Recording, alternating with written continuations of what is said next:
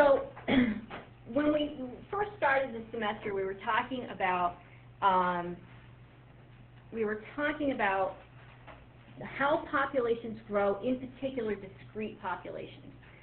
That you have a breeding season once a year or once every three months, and your population would change size. And we used some examples of populations that changed by some fixed percentage every year, right? Um, so we did a nice little table and looked at, okay, what if each year your population adds 3%? Okay? So,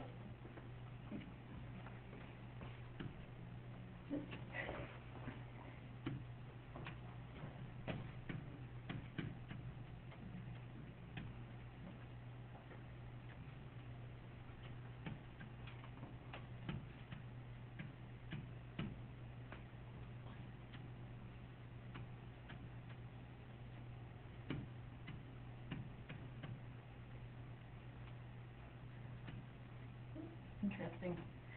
Okay. So you add, add three percent each year. Okay. So what happens if you start at, um,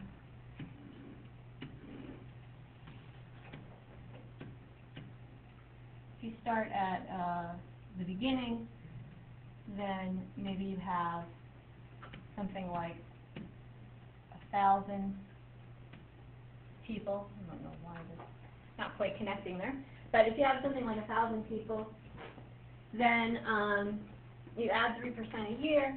You add um,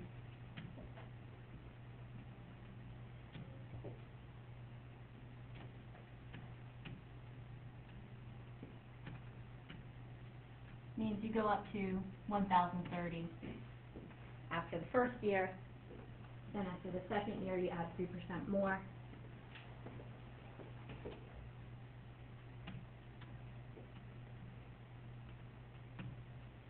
Okay. Okay, not perfect. I apologize. Add three percent more, and with that's another thirty point nine people, right? If you want to check with your calculator, make sure that's right.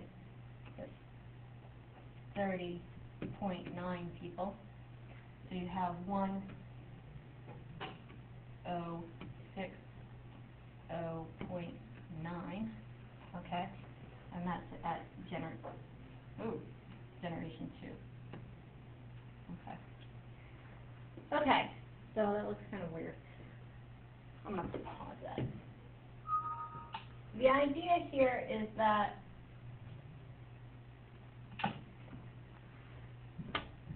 let's see if I can make this more precise.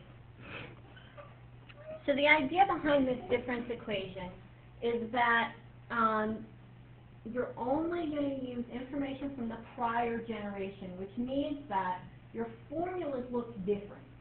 So instead of this being a function of time, it's going to be a function of what happened in the prior generation. So that's kind of weird. How do we write that? Well, if you are thinking about, um, if you're thinking about the notation here, P sub t plus 1 is the population size in the t plus 1 generation, so next generation, okay? And you want to write that in terms of, as a function of what happened in the generation prior. So that would have been the p sub t generation. So how does this relate to what is over on the other side? Well, this is p sub 0, this is p sub 1. Okay? So, for example, p sub 1 is p sub 0 plus 3% of p sub 0.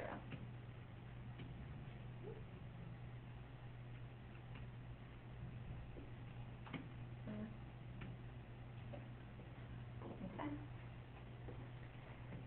So that is a way of describing the first generation as a function of the starting point, right? Okay. So this is different than what we usually see with models, because what we usually see is the year, the population described as a function of the year. Now this is not very general, as is. We can actually simplify this. Is one point oh three to the p times p sub zero. It's not working for me. One point oh three. P sub zero. Okay. If I want to make this a general equation, so this rule is obeyed for every single subsequent generation, then all I do is I say, okay, P at time t plus 1 equals 1.03 times P at time t. So the population size in the next generation is always going to be 1.03 times the previous generation. In fact, that's exactly what we put into our Excel sheet. Do you remember that? We exactly had that in our Excel sheet, except instead of saying p sub t, what we did was we said equals 1.03 times, and we referenced the prior cell, right? And then we copied and pasted that formula for all cells. So it's the exact same thing. So it's almost like we're talking in Excel language here, okay? So we're always referencing the prior cell, and this is called a difference equation.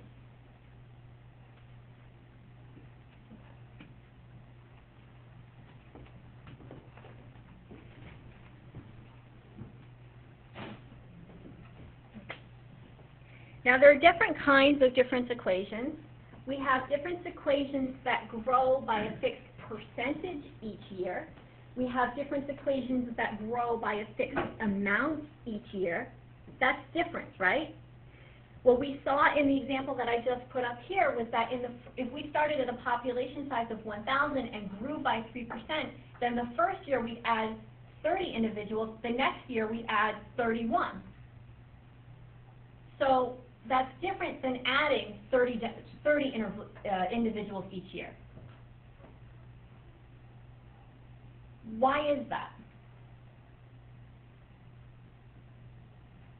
What is it about adding a percentage that's different than adding a fixed amount each year?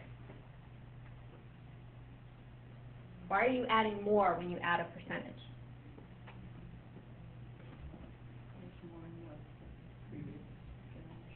There's more in the previous generation. So it accumulates, right?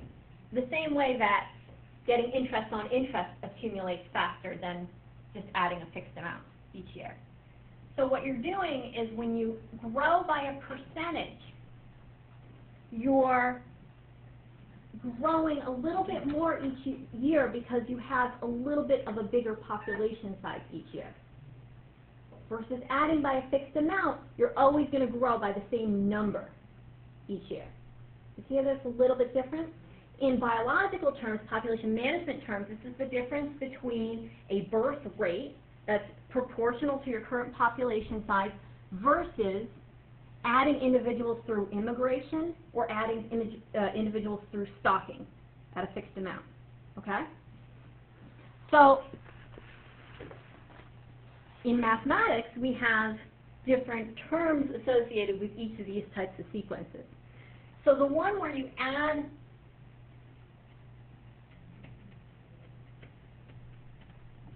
a fixed percentage each uh, generation, sorry that looks a little sloppy, that's x to the n plus 1 equals r times xn. Um, the, that fixed percentage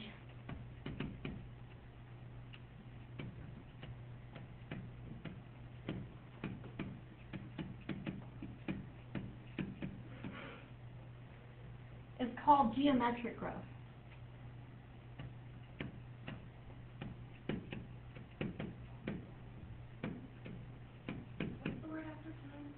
Time step.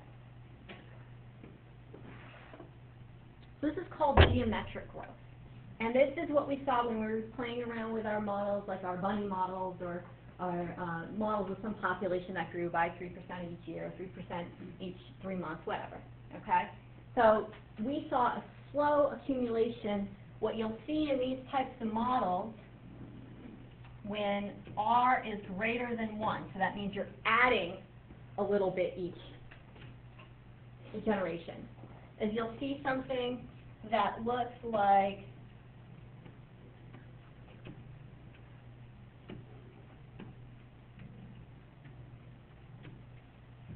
this. So you're not adding a fixed amount. The difference here between these two points on the x-axis is less than the difference between later generations. Right?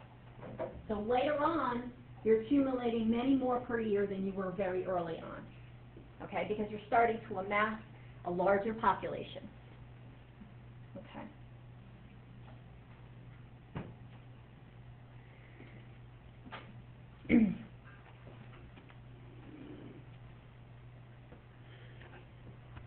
there is a general solution for this. I don't have to write geometric growth as a difference equation. This is the difference equation form.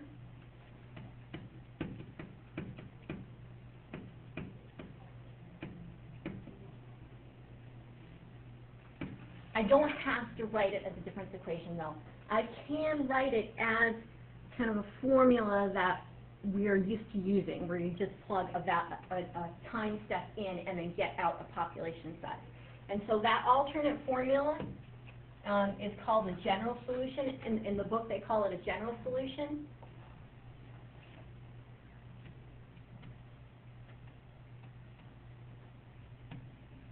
General, that's supposed to say general.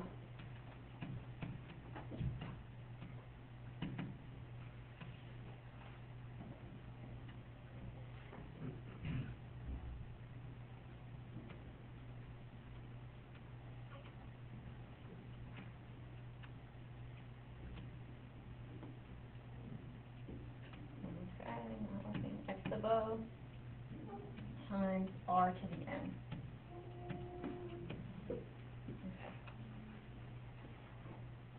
Um, the book calls it a general solution. I also call it a closed solution. You'll hear me say that word a lot, closed form or closed solution.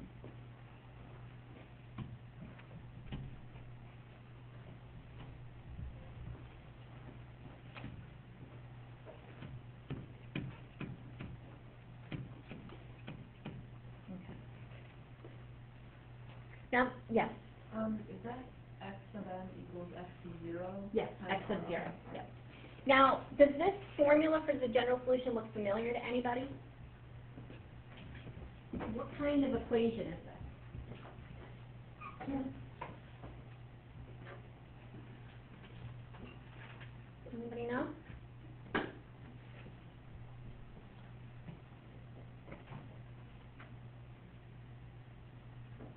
X of zero, the starting population is a constant, R is a constant, the variable is in it your exponent. What is that called? Exponential, Exponential, yes. So geometric growth, growing by fixed percentage each year, is actually the same as as the continuous thing, or close to the continuous analog of exponential growth. So if we're in a continuous system, we call this exponential growth. When we're in a discrete system, we call it geometric growth. But they're really the same thing. If I were to connect these dots, I'd be making an exponential one. Okay? But in discrete, I'm just changing, I'm- without change between these points. Okay? But if I were continuous, it'd be an exponential line. So that's the assumption. When we're talking about a population that's growing exponentially, that the assumption really is that it's growing by a fixed percentage every year. And that's why. Okay? There is another option. We said another option is to talk about immigration or stocking. And in these situations, um, we are talking about about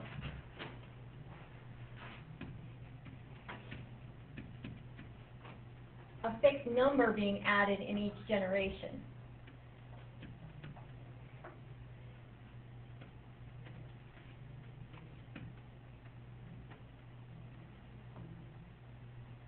Number doesn't change.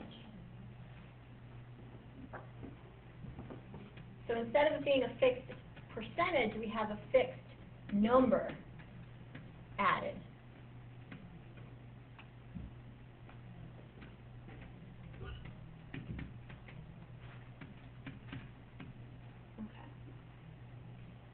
And this is called arithmetic growth. In math. In biology, you call it stocking or immigration.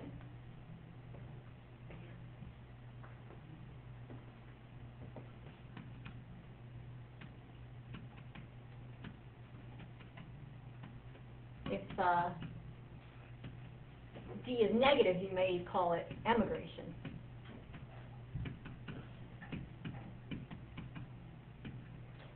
So emigration is a fixed amount leaving, immigration is the fixed amount incoming. And the graph for that type of process for D greater than zero would look like straight line for the most part, if they were connected.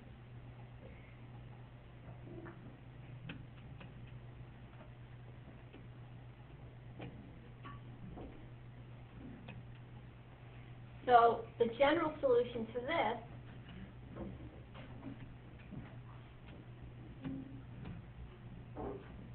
is x to the n equals the starting point plus n times steps of adding d number. Which really is a linear, so if you're continuous, then this is the same thing as being linear.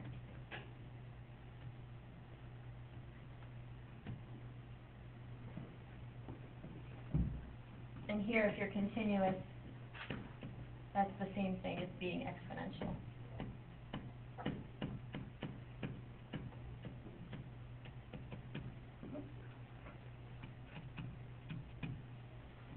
Okay?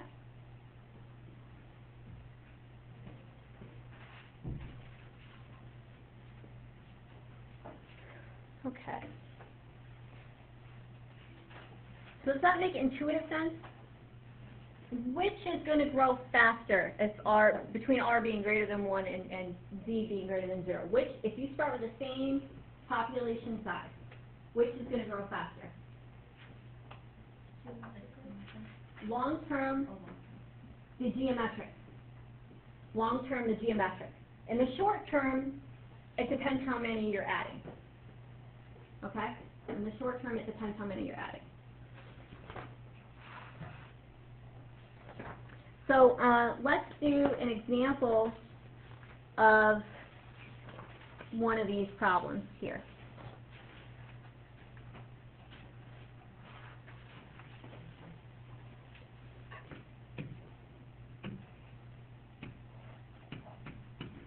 Let's do an example. So, a population of wild hares increases by 13% each year.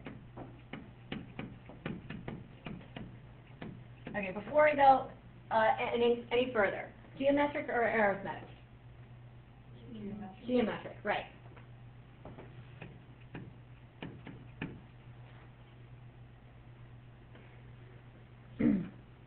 Currently, there are 200 hares.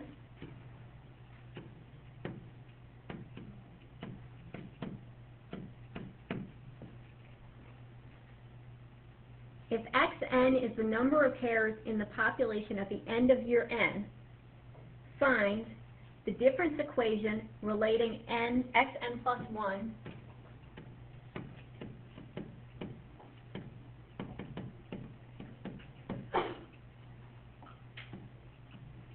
to relate xn plus 1 to xn.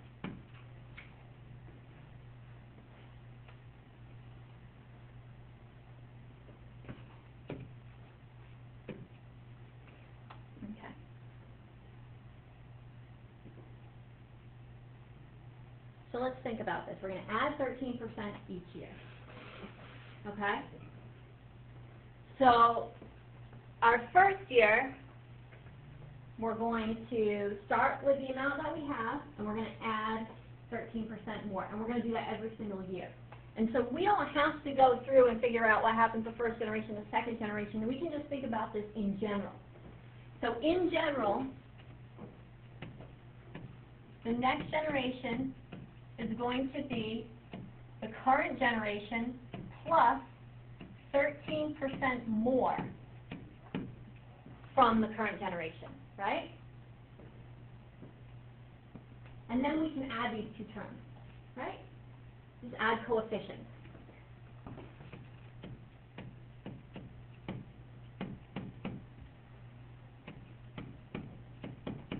Done. That's it. That's the difference equation.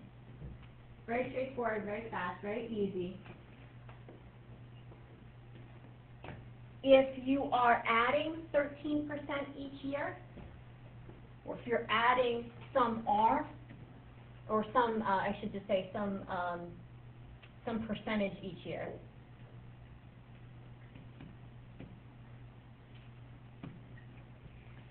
Then the difference equation will always look like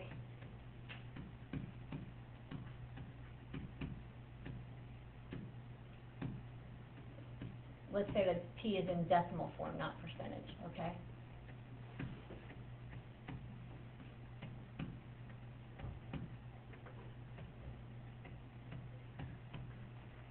Okay? So if I'm adding thirteen percent per year, the difference equation is always gonna look like Sn plus one equals one point thirteen Xn. Does that make sense? So I'm adding six percent a year, it's gonna look like one point oh six Xn.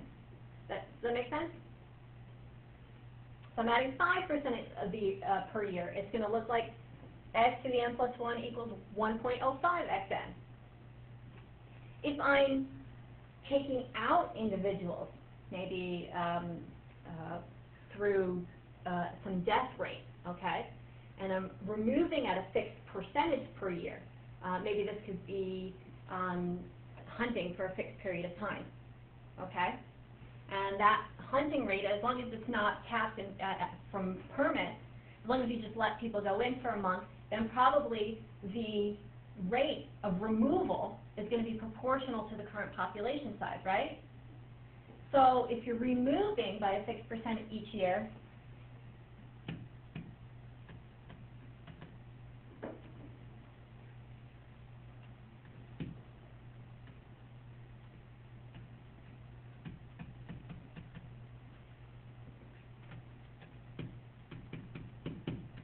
then you're just gonna have a minus sign here.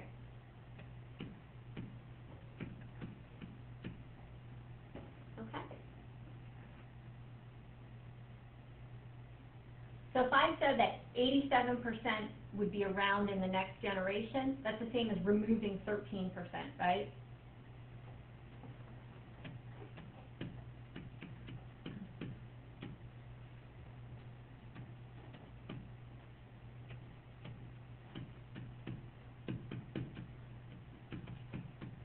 Okay?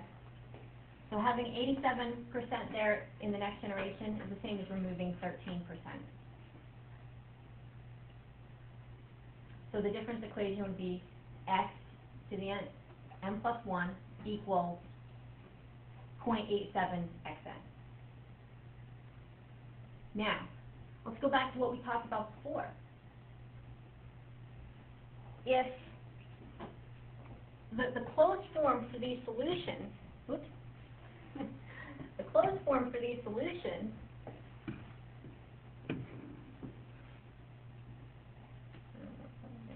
So the closed form for these solutions looks like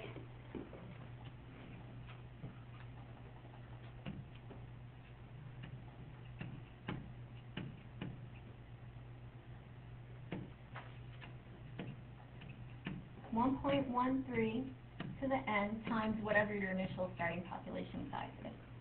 So this is closed form. Or general solution. And in this case, the closed form would be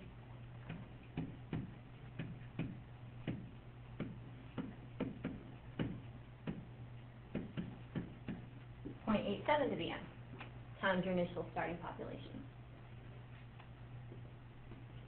In the situation on the left, what happens long term?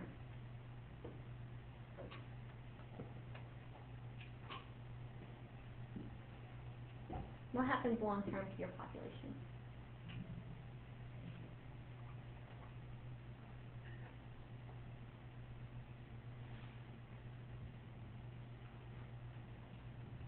It'll go up. It'll go up. Up to what? Infinity? Infinity, yeah. We also might say does not exist. It grows, it grows infinitely much, okay? And what about in the case of, on the right?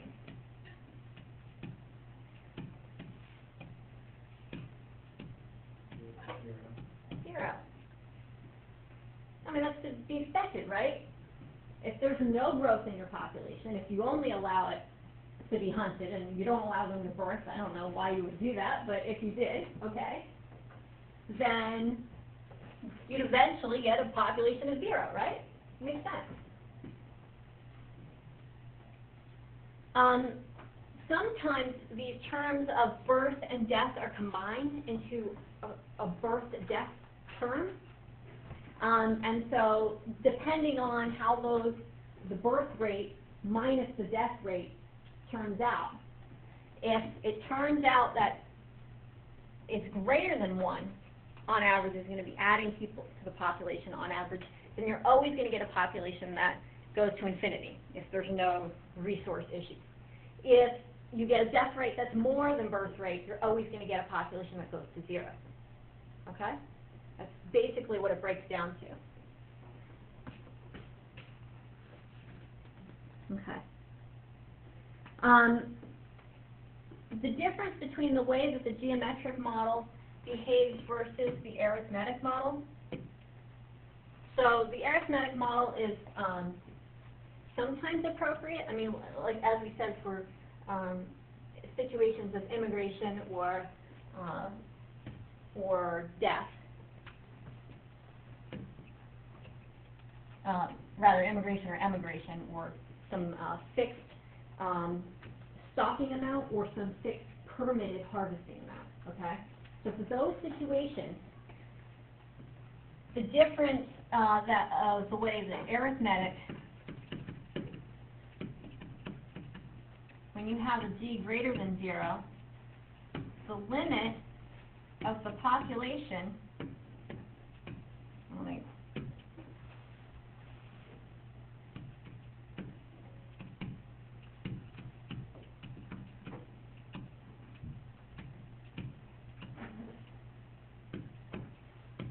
it's still gonna be infinity if you add individuals on average, right? It makes sense. If you just keep adding twenty individuals every single year, out to infinity, you're gonna get an infinite population if nobody dies, right? That makes sense. The difference occurs when you're taking away individuals. You have to be a little bit careful with your interpretation because,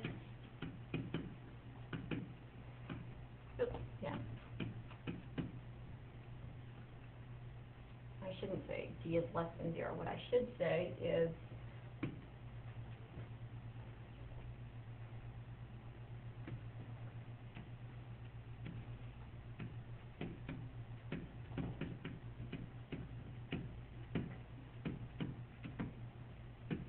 I'm going to say that D is positive, but I'm going to talk about removing D as opposed to adding D. So I'm going to have minus ND, okay?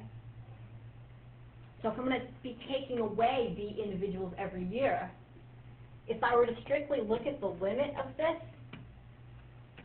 look carefully, I'm gonna get minus infinity, right?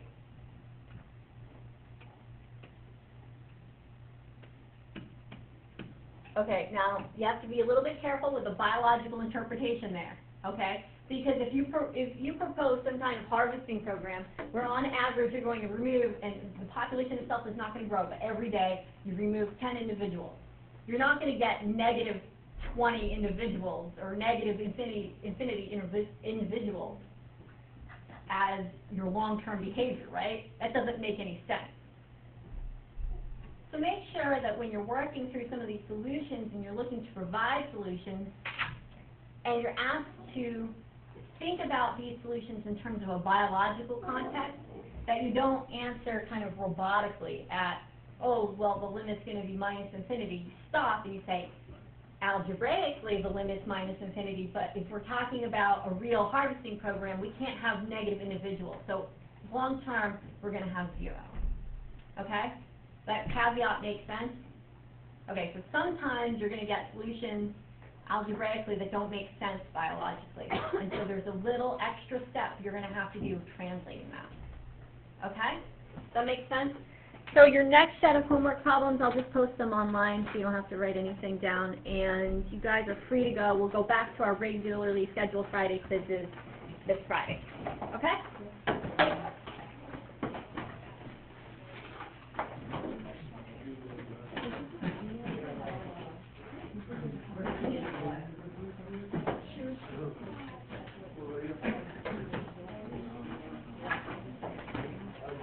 I think I was supposed to check something too, wasn't I?